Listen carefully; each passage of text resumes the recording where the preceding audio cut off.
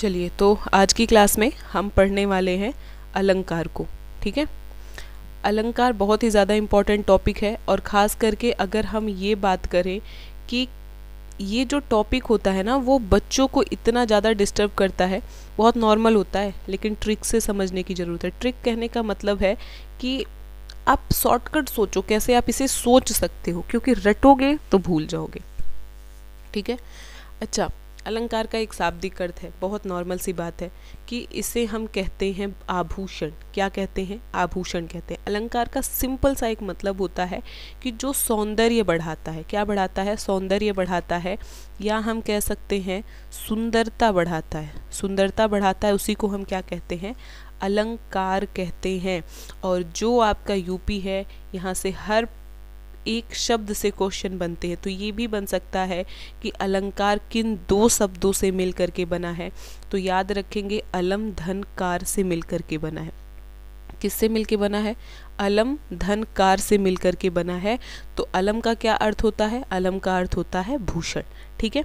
तो हम सिंपल अर्थ में कह सकते हैं कि जिस प्रकार अलंकार स्त्री के सौंदर्य को बढ़ाता है, उसी तरीके से जो अलंकार होता है वो किसकी शोभा बढ़ाता है? काव्य की शोभा बढ़ाता है। काव्य मतलब क्या होता है? कविता। कविता की शोभा बढ़ाता है। ठीक है? तो क्या मैम ऐसा होता है कि हम इसे चूड़ी पहना दें या इसे कंगन पहना दें तो ये इसकी शोभा बढ़ जाएगी कविता की? नहीं। यहाँ पर जो अलंकार होगा वो शब्दों का होगा। किसका होगा? शब्दों का होगा, ठीक है? अर्थों का होगा। तो जो शब्द और अर्थ से कविता की शोभा बढ़ाते हैं, उसे ही हम क्या कहते हैं? उसे ही हम अलंकार कहते हैं काव्य में और अलंकार को काव्य की आत्मा कहते हैं, ठीक है? बहुत ही ज़्यादा इंपॉर्टेंट है, याद रखेंगे। कि अलंकार को क्या कहते हैं? काव्य की आत्मा कहते हैं। और अगर अलंकार नहीं है मतलब शब्द के कोई विशिष्ट अर्थ नहीं निकल रहे, अर्थ के कोई विशिष्ट विशिष्ट अर्थ नहीं निकल रहे हैं तो कविता का मतलब वहाँ कविता नहीं रह जाता है। ठीक है? और संस्कृत भाषा में एक बहुत ही अच्छे शब्दों में कहा गया है कि अलंकरोत इति अलंकार, यानी कि जिसका अर्थ जो अलंकृत करता है, उसे ही हम कहते हैं अलंकार, ठीक है? उसे ही हम क्या कहते हैं? अलंकार कहते हैं, ठीक है? तो शायद ये पॉइंट्स आप लोग को क्लियर हो गया होगा कि हिंदी में या हमारा जो काव्य है, अलंकार क्या होता है, ठीक है? अब हिंदी की अगर बात करें तो अलंकार के मुख्यतः तीन भेद होते हैं। कितने भेद होते हैं? तीन भेद होते हैं। शब्दालंकार होता है, अर्थालंकार होता है उभय अलंकार होता है। लेकिन उभय अलंकार से क्वेश्चन नहीं बनता है। ठीक है, बहुत कम या हम कह सकते हैं बहुत हाई लेवल की जब आप T G T P G T की एग्ज़ाम देते हैं तो वहाँ पर इस टॉपिक से क्वेश्चन मैक्सिमम बनते हैं। लेकिन नॉर्मली अगर हम देखें तो शब्दालंकार और अर्थालंकार इनसे ही हमारे क्या बनते हैं? क्वेश्चन बनते हैं। तो अभी हमने बताया है कि जब शब्दों से, ठीक है मतलब जब हम काव्य में शब्दों के माध्यम से, किसके माध्यम से? शब्दों के माध्यम से कुछ नयापन लाने की कोशिश करेंगे, ठीक है? नई चीज़ें लाने की कोशिश करेंगे, या हम कह सकते हैं उसमें शब्दों के माध्यम से, कविता में हम सुंदरता जब लाने की कोशिश करते हैं तो वो अलंकार क्या होगा? शब्द अलंकार होगा, ठीक है? अर्थालंकार क्या होगा? जब हम अर्थ के माध्यम से, अर्थ के माध्यम से काव्य में सुंदरता लाने की कोशिश करते हैं तो वो क्या हो जाता है? वो हो जाता है अर्थालंकार। ठीक है? ये बहुत नॉर्मल सी चीज़ है।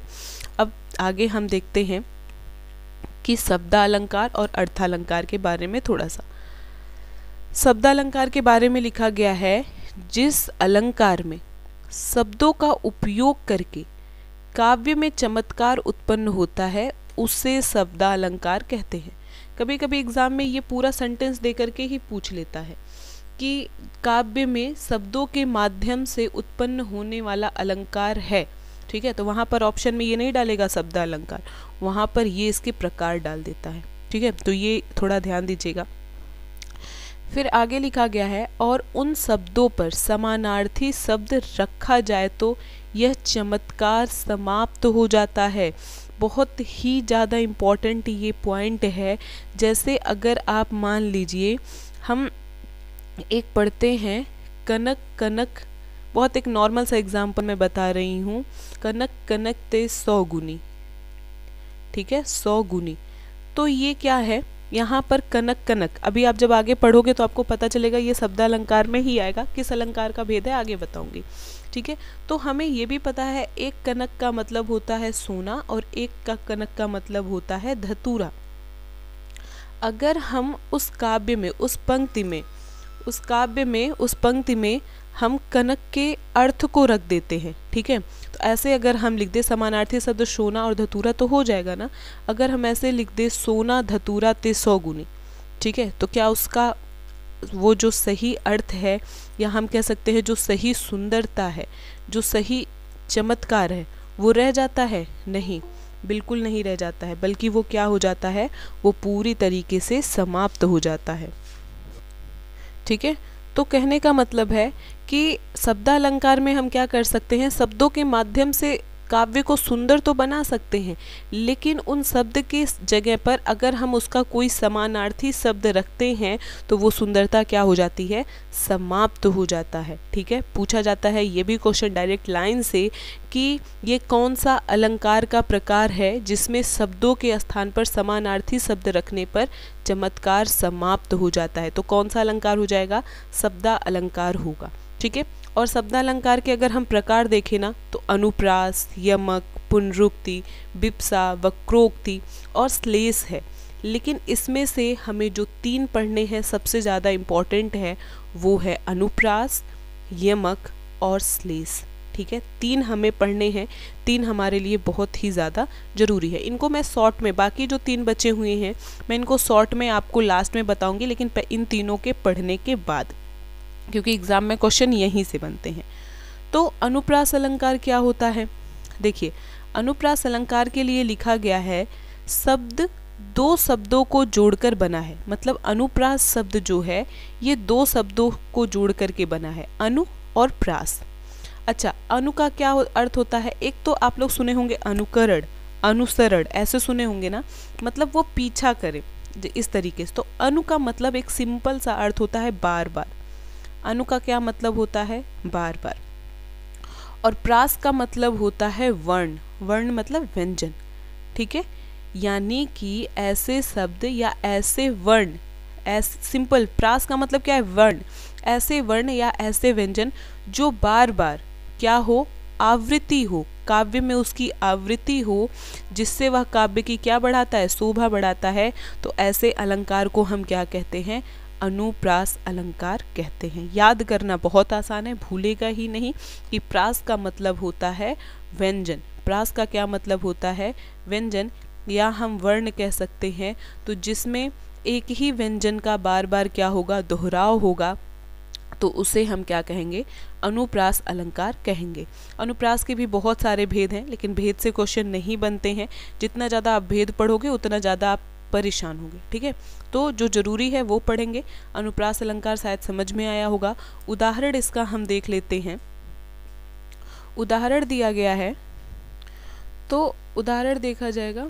उदाहरण में यहाँ पे देखिए लिखा गया है, कर कानन कुंडल मोर पखा, उर पे बैजंती माल बिराजती है। ठीक है? अब देखो, आप सेकंड लाइन पर ध्यान ही मत दो। दूसरे लाइन पे ध्यान ही मत दो आप। यहाँ पर पहले लाइन में क्या हो रहा है? अनुप्रास अलंकार हो रहा है। कैसे हो रहा है? क्योंकि अभी हमने पढ़ा है कि एक ही वर्ण या एक ही व्यंजन का बार बार क्या होना चाहिए? दोहरा होना चाहिए। तो कर में हमें क्या मिला? कर में हमें क मिला। कानन में हमें क्या मिला? क मिला। कुंडल में हमें क्या मिला? कुंडल में भी हमें क मिला। तो यहाँ पर लिखा गया है कि इस काव्य में क वर्ण की आवृत्ति कितनी बार हो रही है? तीन बार हो रही है। ठीक है? लेकिन अगर हम इसी को दूसरे लाइन में आए ना तो यहाँ पर ब ब वर्ण की भी आवृत्ति कितनी बार है? ब वर्ण की भी आवृत्ति दो बार है, एक बनमाल में और एक विराजत में, ठीक है? और इसी की वजह से इसमें कौन सा अलंकार हो जाएगा? अनुप्रास अलंकार हो जाएगा। क्लियर है सबको? नॉर्मल सा। रट सकते हो? अनु का देखो रटो नहीं, समझो आप इस चीज़ को। अनु का मतलब है बार बार प्रास का मतलब है वर्ण या अक्षर। यानी कि अगर एक ही अक्षर किसी अलंकार में एक से अधिक बार प्रयोग किए जाते हैं तो वो कौन से अलंकार के अंतर्गत आ जाएँगे? अनुप्रास अलंकार के अंतर्गत आ जाएँगे। ठीक है? एग्ज़ाम्पल के तौर पे यहाँ पर लिखा है, कर कानन कुंडल मोर पखा उर्पे बैजंती उर्पे बन, माल बिराजती है। ठीक है? चलिए। नेक्स्ट आ जाएँगे। अब हम देखेंगे यमक अलंकार को। यमक अलंकार क्या होता है? जब किसी काव्य में एक शब्द दो या दो से अधिक बार आता है, ठीक है? इसके पहले हमने क्या पढ़ा था? वर्ण पढ़ा था। अभी हम क्या पढ़ रहे हैं? एक शब्द की बात कर रहे हैं, ठीक है? और वो शब्द दो बार आए या दो से अधिक बार आए। और हर बार उसका अर्थ क्या होना चाहिए? भिन्न होना चाहिए। अभी हमने कनक कनक वाला एग्ज़ाम्पल देखा है ना? एक ही शब्द था, दो बार आवृत्ति थी, लेकिन दोनों के अर्थ क्या थे? अलग थे। तो ऐसे अलंकार को हम क्या कहते हैं? यमक अलंकार कहते हैं। ठीक है?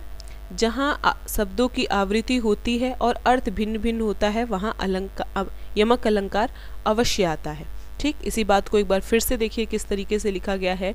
जिस काव्य में एक शब्द और शब्द समूह एक और एक से अधिक बार आए हैं और हर बार उसका अर्थ अलग होता है, यमक अलंकार होता है, ठीक है? ये मैंने तीन तरह से परिभाषा इसलिए लिखा है क्योंकि यही परिभाषा जब थोड़ा सा घुमा दिया जाता है तो आप लोग परेशान हो जाते हैं, ठीक है? तो तीनों को देख लेंगे।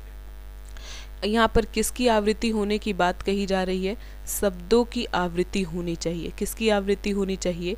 शब्दों की आवृत्ति होनी चाहिए। ठीक है? इसे हम देखते हैं। यहाँ पर देखिए लिखा गया है, कह कवि बेनी बेनी ब्याल की चुराई लीनी। ठीक है? यहाँ पर पहले लाइन में हमें किस शब्द की आवृत्ति हुई है? बेनी की और फिर बेनी की। ठीक? दूसरा लाइन हम पढ़ते हैं। रति रति शोभा सब रति के शरीर की। अब यहाँ पर एक तो आया, रति रति और फिर रति। यानी कि रति शब्द की आवृत्ति कितनी बार है? तीन बार है। इसी चीज़ को आगे डिफाइन किया गया है कि पहले पंक्ति में बेनी शब्द की आवृत्ति दो बार। तो अब अर्थ, साथ में हमने ये भी पढ़ा है ना कि अर्थ भी अलग अलग होने चाहिए। तो चलो देख लेते हैं अर्थ क्या अलग है। तो पहला शब्द बेनी कवि का नाम है। पहला क्या है? ये कवि है। कवि का ये नाम है वेनी और दूसरा है बेनी का अर्थ चोटी। दूसरा बेनी का अर्थ क्या है? चोटी। ठीक है? और दूसरे पंक्ति में रति की तीन बार आवृत्ति है, जिसमें पहला रति का अर्थ रत्ती। रत्ती। रत्ती मतलब एक तरीके से हम कह सकते हैं थोड़ा, जैसे बोलते हैं ना, रत्ती भर चाहिए इस तरीके से। मतलब ये एक तरीके का माप का प्रकार होता है, सोना मापते हैं इससे। फिर क्या है? रति। रति का अर्थ है यहाँ पर कामदेव की सुंदर पत्नी से। ठीक है? रति रति सु। अच्छा ये दोनों रति रति का अर्थ यहाँ पर एक ही है। यहाँ पर एक तरीके से हम कह सकते हैं कि यूनिट है ये। ठीक है? एक मात्रक है ये शोभा सब रति के शरीर की। तो ये रति कौन है? ये हो गई कामदेव की पत्नी। यानी कि यहाँ पर भी अगर हम देखें तो रति का अर्थ क्या हो गया? अलग अलग हो गया। ठीक है? तो इस कंडीशन में क्या बनेगा? शब्दों की आवृत्ति भी है और शब्दों का क्या है? शब्दों की आवृत्ति तो हो गई और शब्दों के अर्थ में भी हमें क्या मिल गया? अंतर मिल गया। तो अंतर मिल गया तो क्या हो जाएगा यहाँ पे? तो इसको हमने क्या पढ़ा? हमने पढ़ा कि यहाँ पर अर्थ क्या हो रहा है? अर्थ सबके अलग अलग हो जा रहे हैं। बेनी का भी अर्थ क्या हो रहा है? दोनों बेनी का अर्थ अलग अलग हो गया और रति रति और रति का भी अर्थ क्या हो गया? अलग हो गया। इसी तरीके से मैं एक एग्ज़ाम्पल और आपको दे देती हूँ। जैसे क्या बोलते हैं? सजना है, मुझे सजना के लिए। ये बहुत ही अच्छा सा एग्ज़ाम्पल है, याद करना आसान है, ठीक है? बोलते हैं ना, सजना है मुझे सजना के लिए। ये शायद गाना वाना भी है। हाँ ये गाना है, ठीक है? तो एक सजना का अर्थ क्या है? एक सजना का अर्थ है तैयार होना, ठीक है? मतलब मुझे रेडी होना है, कपड़े वपड़े अच्छे से पहनना है। और एक सजना का अर्थ किससे हो गया? पति हो गया, ठीक है? मतलब जो भी है बॉयफ्रेंड पति, जो भी है, उसके लिए क्या होना है? तैयार होना है। तो सिंपल सा एक कॉन्सेप्ट यहाँ पे निकल करके आया कि यहाँ पर शब्दों की क्या हो रही है? आवृत्ति हो रही है। शब्दों की क्या हो रही है? आवृत्ति हो रही है, लेकिन एक का अर्थ हो गया पार्लर में पैसे खर्च करने से और दूसरा सजना जो हो गया, वो आकर के पेमेंट करेंगे, उनसे हो गया। ठीक है? तो देखिए, याद करना कितना आसान है। तो हमने क्या क्या सीख लिया? हमने तो एक तो सीख लिया अनुप्रास अलंकार के बारे में कि यहाँ पर किसकी आवृत्ति हो रही थी? यहाँ पर जो वर्ण है, ठीक है? उसकी आवृत्ति हो रही थी, यानी कि व्यंजन या अक्षर की आवृत्ति हो रही थी, और यमक में किसकी आवृत्ति हो रही है? शब्दों की आवृत्ति हो रही है। अब हम देखेंगे स्लेस अलंकार। स्लेस बहुत ही ज़्यादा इंपॉर्टेंट है। यहाँ पर अगर हम देखें ना तो बहुत लोगों को बहुत सारे कन्फ्यूज़न रहते हैं इस अलंकार को लेकर के, खास करके इस उदाहरण के आधार पर। देखते हैं पहले क्या इसका मतलब है। लिखा गया है, जिस काव्य में एक शब्द एक ही बार आए। उसका अर्थ अलग निकले तो वहाँ पर श्लेष अलंकार होता है। ठीक है? यानी कि शब्द एक हो और अर्थ इसके क्या हो? अलग अलग हो। ठीक है? जैसे मान लीजिए कि कोई अगर दो दोस्त बात कर रहे हैं, ठीक है? दो दोस्त आपस में बात कर रहे हैं, लेकिन तीसरा बगल में एक दुश्मन भी खड़ा है। तो ये दोस्त इस तरीके से बात करेंगे कि इनको एक दूसरे के लिए पॉजिटिव और इसके लिए एक निगेटिव इफ़ेक्ट जाएगा। ठीक है? इस तरीके की चीज़ें आप समझो। मतलब शब्द तो एक ही वो प्रयोग कर रहा है, लेकिन किसी के लिए वो बहुत अच्छा और किसी के लिए वो क्या हो जा रहा है? बुरा हो जा रहा है। ठीक है? इस तरह के कॉन्सेप्ट अगर आप लगाओगे तो याद करना या समझना थोड़ा ज़्यादा अच्छा रहेगा। इसको हम इस एग्ज़ाम्पल के तौर पर देखेंगे। एक मिनट।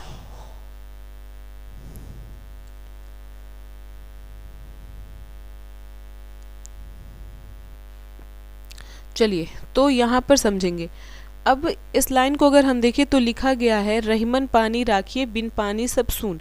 यहाँ पे बहुत सारे बच्चे कंफ्यूज हो जाते हैं, मैम, कि ये पानी का तो आवृत्ति है तो अर्थ तो अलग अलग होगा ही। तो इसीलिए हम पहली लाइन को छोड़ करके हम पढ़ेंगे। ठीक है? अब देखिए, नीचे कहा गया है, पानी गए न उबरे, मोती मानुस चून। ठीक है? मान लीजिए कि आप अपने दोस्त से बोल रहे हैं कि भाई, पानी चला जाता है, पानी चला जाता है तो ना तो मोती उबरती है, ना तो मनुष्य उबरता है और ना ही क्या उबरता है? चूना उबरता है। ठीक है? अब देखो, आपने पानी शब्द का प्रयोग किया और आप बात अपने दोस्त से कर रहे थे कि पानी गए ना उबरे, मोती मानुस चुन मतलब दोस्त दोस्त गए पानी, पान के टंकी पर और जा कर के वहाँ पर वो क्या खा रहे हैं? तंबाकू खा रहे हैं तो उनको चूने की ज़रूरत पड़ी, ठीक है? तो आपने दोस्त से यही बोला, पानी कम है, इसलिए चूना जो है वो सही से उबरा नहीं है मतलब सही से मतलब चूने में तो पानी डालना पड़ता है ना, ये नॉर्मल सा चीज़ है।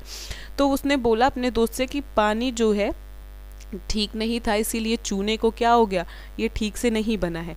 लेकिन यहाँ पर जो व्यापारी होगा, उसको समझ में आएगा मोती के परिप्रेक्ष्य में। और अगर कोई मनुष्य है, जिसकी बिज्जती हुई है तो वो उसके समझ में आएगा इज़्ज़त से। किससे समझ में आएगा? इज़्ज़त से समझ में आएगा कि मतलब ये मेरे इज़्ज़त की बात कर रहा है कि पानी जाने पे मनुष्य जो है, इज़्ज़त चले जाने पे मनुष्य जो है वो वर्ता नहीं है। तो सिंपल सा हम कह सकते हैं कि पानी शब्द के तीन अर्थ हमें मिल रहे हैं। कौन कौन से? एक तो चमक, दूसरा सम्मान और तीसरा क्या होगा? चूना हो गया। ठीक है? चलिए, एक दो एग्ज़ाम्पल मैं अपनी तरफ़ से दे देती हूँ आपको। एक एग्ज़ाम्पल तो ये आप रख लो, जे रहीम जे रहीम गति दीप की। कुल कपूत कुल कपूत गति सोई। सोए। बारे उजियारो करे। और बढ़े अंधेरो हुई। ठीक है? बहुत ही नॉर्मल सा एग्ज़ाम्पल है और शायद आप लोगों ने ये पहले पढ़ा भी होगा, जानते भी होंगे। देखिए, यहाँ पर कितना एक सिंपल सा अर्थ कहा जा रहा है कि जे रहीम गति दीप की, दीप दिया दिया हम कह सकते हैं, जो हम घरों पे जलाते हैं और फिर यहाँ पर इस दिए का जो एक तरीके से गति दिखाया जा रहा है, दिया और कुल कपूत की गति जो है। ठीक है कुल कपूत यानी कि जो कुपुत्र है उसकी गति के बारे में वर्णन किया जा रहा है कि अगर जो दिया है अगर उसको हम क्या करते हैं बढ़ाते हैं बा, यहाँ पे बाढ़ बाढ़ने का अच्छा आप लोग सुने होंगे कि दुकानदार रात में दुकान बढ़ाते हैं। देखिए हमारे एक धर्म की ये विशेषता है ना कि कोई भी चीज़ निगेटिव शब्दों में नहीं बोलते हैं। तो पता नहीं मतलब ये चीज़ें चली आ रही हैं, परंपरा हो गई है हमारी। बढ़ाने का मतलब होता है कि खोलना एक तरीके से। लेकिन हम ये नहीं कहते कि हम दुकान बंद कर रहे हैं, हम बोलते हैं दुकान बढ़ा रहे हैं। तो इसी तरीके से ये नहीं बोला जाता है कि दिया बुझा दो। हमारे यहाँ बोला जाता है दिया बढ़ा दो। ठीक है? ये बोला जाता है। तो यहाँ पे यही कहने का मतलब है कि दिया जब हम बढ़ाएँगे तो क्या होगा?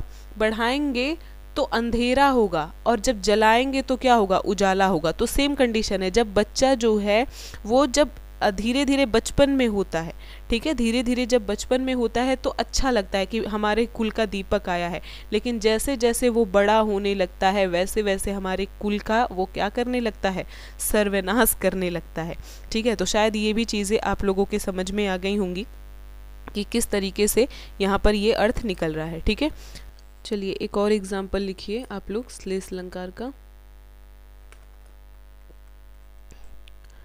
नर की अरु, नर की अरु, नल नीर की गति, नल नीर की गति, एक कर जोए। नेक्स्ट लाइन है जे तो नीचो है चले ते तो ऊंचो हो। ठीक, इस पॉइंट को लिखिए।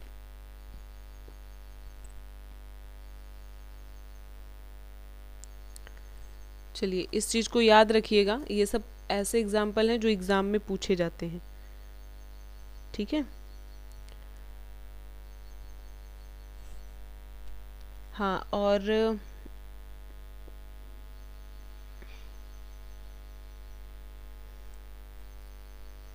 ठीक है बस इतना ही रहने दीजिए।